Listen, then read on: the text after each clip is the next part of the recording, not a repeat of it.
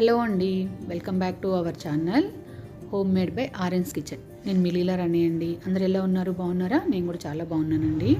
ఈరోజు నేను మీకు ఈ వీడియోలో చపాతీ రోల్స్ అంటే చపాతీతోటి మనము రోల్స్ని ది ఎలా తయారు చేసుకోవాలి? ఎప్పుడు మనం స్ప్రింగ్ రోల్స్ లేదా వెజ్ రోల్స్ చికెన్ రోల్స్ ఇలా తయారు చేసుకుంటాం కదండి? అలా కాకుండా చపాతీలో వెరైటీగా కర్రీని తయారు చేసుకొని ఈ కర్రీ తోటి మనము ఈ రోల్స్ అనేదాన్ని తయారు చేసుకుంటాం అనమాట మరి ఇంతటి టేస్టీ టేస్టీ వెరైటీ ఈ చపాతీ రోల్స్ని ఎలా తయారు చేసుకోవాలి? దానికి కావాల్సిన ఇంగ్రీడియంట్స్ ఏంటి? మనం ఈ వీడియోలో చూసేద్దాం. మీరు కానీ ఈ ఒక్కసారి ఇలా చపాతీ రోల్స్ని కానీ చేసుకున్నారంటే పిల్లలు పెద్దలు అందరూ చాలా ఇష్టంగా తింటారండి. అలాగే ఈ రెసిపీ అనేది పొద్దున టిఫిన్కి కానీ మధ్యాహ్నం లంచ్కి కానీ ఈవినింగ్ స్నాక్స్ ఆర్ డిన్నర్ దేనికైనా పర్ఫెక్ట్గా ఉంటుందండి. మరి అంతటి టేస్టీ టేస్టీ వెరైటీ రెసిపీని చూసేద్దామా? అయితే దీనికి ముందుగా నేను స్ప్రింగ్ ఆనియన్స్ స్ప్రింగ్ ఆనియన్స్ అయితే ఒక టూ ఫిఫ్టీ గ్రామ్స్ తీసుకున్నానండి. తీసుకుని వాటిని శుభ్రంగా కడిగేసేసుకొని సన్న సన్నగా పీసెస్ తరి తరిగేసి పెట్టేసుకున్నాను. అది పెట్టేసుకున్న తర్వాత స్టవ్ వెలిగించేసుకొని ప్యాన్ పెట్టేసుకోండి. ఆయిల్ ఒక టే టూ టేబుల్ స్పూన్ ఆయిల్ అయితే వేసుకోండి. ఈ కర్రీలోకి కొంచెం ఆయిల్ అయితే ఎక్కువే పడుతుంది. సో ఆయిల్ వేడెక్కిన తర్వాత కొంచెం ఆవాలు అలాగే కొంచెం జీలకర్ర. ఈ రెండు కొంచెం ఫ్రై అయిన తర్వాత ఆనియన్స్ అండి. మీడియం సైజు రెండు ఆనియన్స్ని తీసుకొని వాటిని కూడా సన్నగా తరిగేసి ఇందులో వేసేసుకోండి. ఇవి కొంచెం అంటే లైట్గా ఫ్రై అయిన తర్వాత అప్పుడు దీంట్లో మనం ఐదారు పచ్చిమిర్చిని కూడా సన్నగా తరిగి వేసేసుకోవాలన్నమాట. ఈ సన్నగా వేసుకున్న పచ్చిమిర్చి ఆనియన్స్ కొంచెం ఫ్రై అయిన తర్వాత మనం రెడీ చేసి పెట్టుకున్న స్ప్రింగ్ ఆనియన్స్. ఈ స్ప్రింగ్ ఆనియన్స్ మొత్తం ఇందులో వేసేసేయాలండి.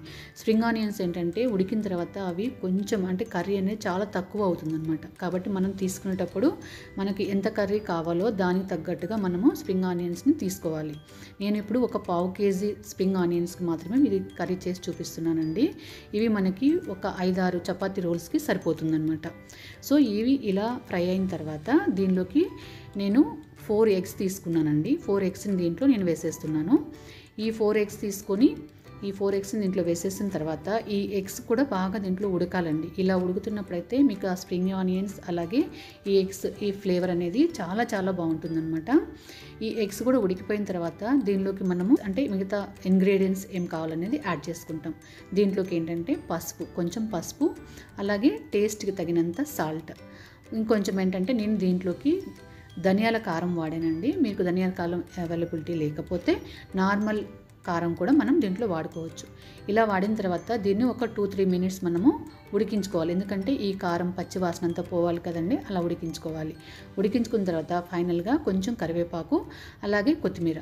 ఇది రెసిపీ అయితే రెడీ అయిపోయిందండి. ఇదే రెసిపీని మనము కర్రీలోకి కూడా తీసుకోవచ్చు. కర్రీలోకి కూడా చాలా చాలా బాగుంటుంది. కాకపోతే ఇప్పుడు మనం ఏం చేస్తున్నామంటే వీటిని చపాతీలోకి వాడుతున్నాం కాబట్టి నేను ఆల్రెడీ చపాతీ అనేదాన్ని రెడీ చేసి పెట్టుకున్నానండి.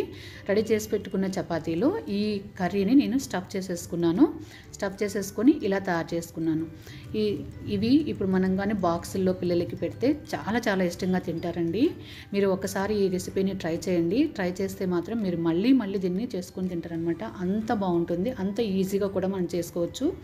మీరు కనుక నా ఛానల్ ఫస్ట్ టైం చూస్తున్నట్లయితే నా ఛానల్ తప్పకుండా సబ్స్క్రైబ్ చేయండి. అలాగే పక్కనే ఉన్న బెల్ ఐకాన్ని క్లిక్ చేయడం మర్చిపోవద్దు. Thank you.